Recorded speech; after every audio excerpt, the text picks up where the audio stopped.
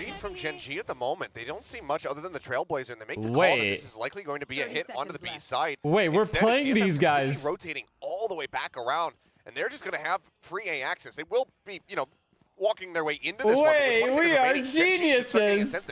They have Come on, man. long. Now they're going to have to try to rotate. Who's and the retake here caller? at 5v5. Yeah, this is not going to be easy for them seconds to left. do a lot of damage on this one. As Spike finally planted. they are going to get on over for Thick, now. thick though. You think DFM have a chance to run or no? Yes, they play well. No cap. Just waiting on this one.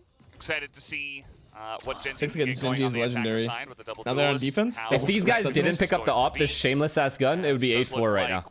Yeah. Neth And setting Texas op is annoying. Yep. onto the B